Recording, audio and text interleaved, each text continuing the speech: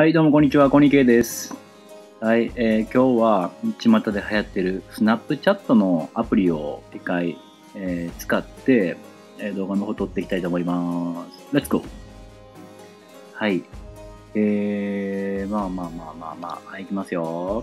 スナップチャットっていうのは何なのかというのを簡単にさっき説明読んだんですけど、うわー、ドワー、ドワー、ゆらゆらしてる。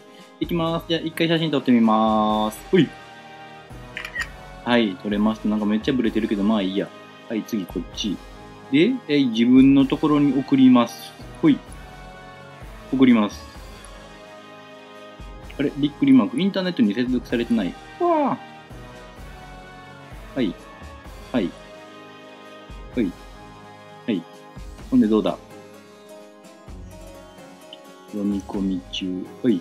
たった今送信中。はい。いきますよ。来ましたよ。自分のところに送ったんで来ましたよ。はい。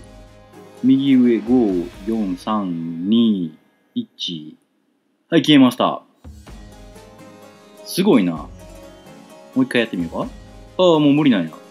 ダブルタップして返信。ああ、もう一回送れと。はい、じゃあもうもう一回送ってみますね。なんか、うわーってなんか、伏見稲荷みたいになってる。でででんででんでん。よし。はい。で、次は秒数を7秒とかにしてみようか。はい、OK。レッツゴー。送りました。読み込みました。はい、見てみます。タップして表示。はい、右上7秒からカウント始まった。はい、消えた。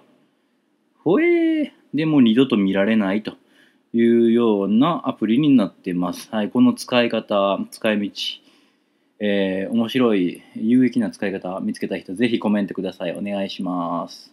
はい、ではお疲れ様でした。